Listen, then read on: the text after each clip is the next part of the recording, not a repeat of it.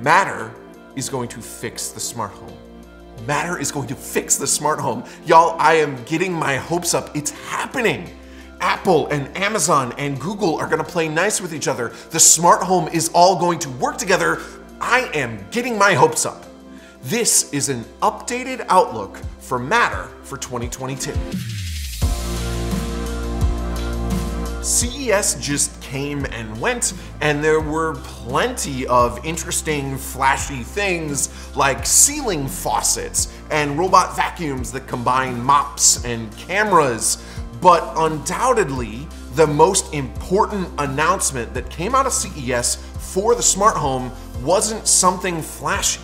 It was simply Matter gaining a ton of momentum that might help it fulfill its massive amount of promise. Now, you might be thinking in elegant fashion, huh? And I get it. And most of the announcements related to Matter had more to do with developers than consumers anyway, but the advancements that come out of it could be some of the most consumer friendly stuff we've seen in the smart home in a long time. So, let me catch you up on what Matter is. Then I'll go over all of the updates that we've seen recently from Matter, focused mostly on CES, before detailing why these updates make me so excited about it, and then finally talking about my remaining concerns about Matter. Okay, the Cliff Notes version of Matter. If you're already familiar, feel free to check out the time codes below and skip ahead, or alternatively, if you want a more detailed explanation, check out this video that we made when Matter first debuted last year, and then come back here and feel free to skip ahead, or don't, and spend that much more quality time with me. Here we go. Matter wants to make it so that your Amazon devices work with your Google Assistant devices, work with your Apple HomeKit devices, and Amazon, Google, and Apple are already on board, along with a whole bunch of other big names in the smart home, like Samsung and Philips Hue and Comcast. To get granular for a sec, Matter is a smart home protocol founded by the Connectivity Standards Alliance. The Connectivity Standards Alliance is the new name for the group behind Zigbee. Zigbee is essentially a low power radio signal that devices like door sensors can use to communicate with hubs or smart speakers. And the CSA is refining the whole idea and making it easier for devices to talk to each other. Matter is actually going to use a relatively new way for devices to communicate called Thread, in addition to more standard ways like Bluetooth Low Energy and Wi Fi. Going into CES, we knew a bunch of big names were already on board and they were already building Matter into their compatible gadgets and even their software. Apple is making it part of iOS. Google and Amazon are building compatibility into their smart speakers. SmartThings and Philips Hue are adopting the protocol on new devices and updating some old ones to work with Matter, etc. They're planning to flip the switch, so to speak, and start letting this communication flow in the first half of this coming year. And you're caught up. CES 2022, Google announced something called Fast Pair, which will supposedly let you set up and pair compatible devices like headphones and Chromebooks and other Google gizmos with a single click. And Google specified that you'll be able to use Matter with Fast Pair to set up your smart home devices on your home network. Amazon already had something called frustration free setup, which basically lets you use existing Amazon devices to set up new stuff on your network without having to re enter your info every time. And at CES, Amazon rolled out a developer kit so that all Matter devices can take advantage of this feature. Both updates are helping to fulfill one of Matter's main promises, making the smart home stuff in your home just work with less fuss. Before Matter, it's a hassle knowing which smart devices work with which assistant. Does the cool smart light bulb that you just saw in the hardware store work with Siri? Well, with Matter, you shouldn't have to guess or pull out your smartphone for a quick search. You'll just be able to see this symbol and know. And you won't have to download a separate app to set it up when you get home. The existing smart home gatekeepers, Amazon, Google, Apple, they'll do that part for you, which will also make life easier for developers. Those developers can focus on great, unique hardware and let the software giants do the software part. And they don't have to design for different systems, just Matter. That's what this easy setup stuff is putting into place. Amazon went one step further with something called commissionable endpoint.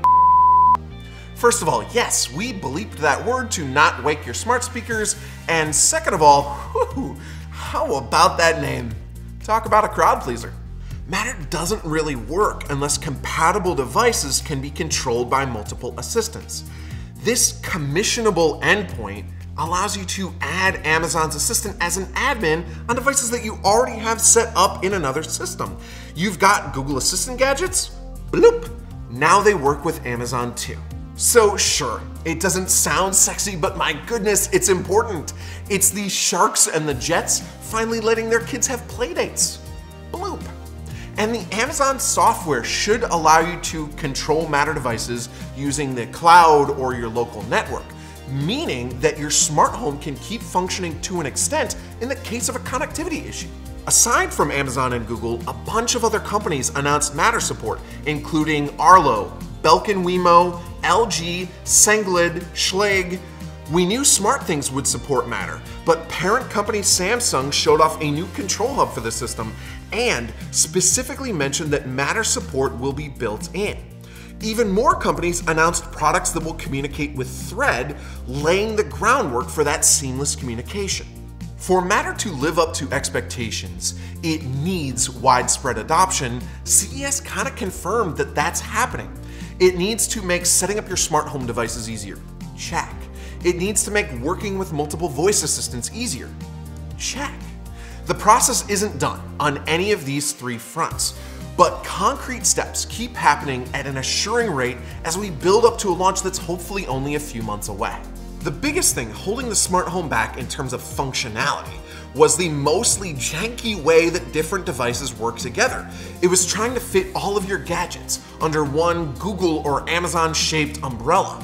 Matter is constructing a big shelter for everything, and Amazon and Google are willingly acting as supports a seamless smart home is finally on the horizon. But there are a few concerns left. Number one, Apple.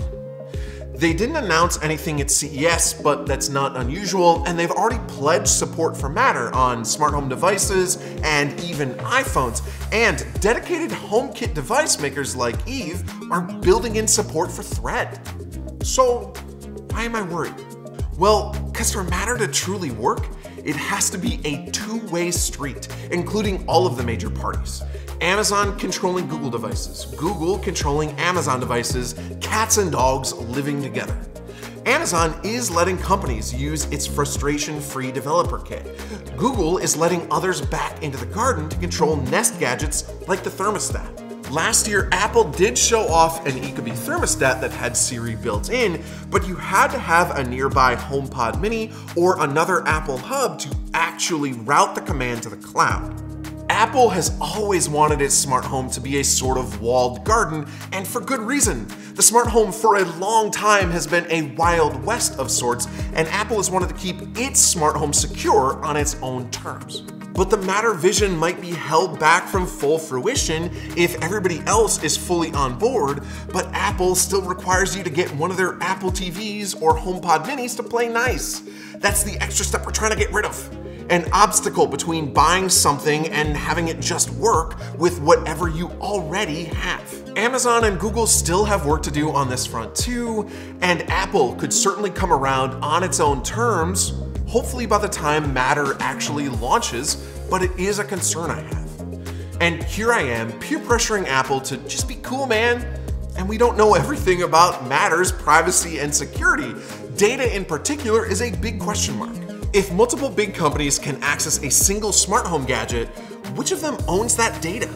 It's probably not a big deal for something like a door sensor, but this could be why we haven't heard much about smart cameras and Matter. Lots of companies make recurring revenue from subscription costs related to storing smart camera data and video, not to mention monetizing that data itself. There's no way companies just give up that source of profit.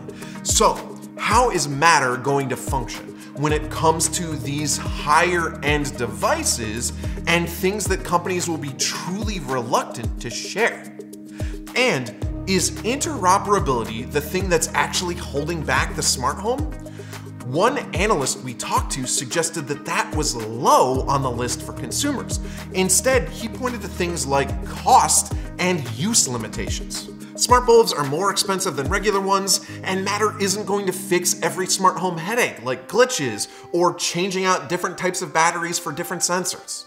And my last major concern, backwards compatibility. Yes, most companies have announced that Matter will roll out to existing products via an update, but a lot of those announcements have specified some existing products. Matter looks like it could be the perfect solution if you're starting your smart home this summer. Almost every product you could want should be compatible by then. But I'm a little worried about those who have an existing setup getting left behind. Dealing with obsolescence in the smart home, an evolving field of tech, was always going to be an issue. And it's probably unavoidable to an extent. Some stuff will just be too old for an update. Some older stuff can't work with Thread, etc. Still, I'll be keeping my eyes out for announcements about existing products getting the upgrade over the course of the next couple of months. Fingers crossed we see more and more, because, like I said, I've got my hopes up way, way up, and there's no way I am setting myself up for crushing disappointment. No way. Because the smart home might be finally ready to live up to the sci fi expectations of yesterday. It might be finally seamless and easy thanks to Matter, and I don't want to leave anyone behind because this could be really cool. Thank you very much for watching. If you enjoyed the video, please hit that thumbs up button and subscribe to CNET's YouTube channel for more. Bloop.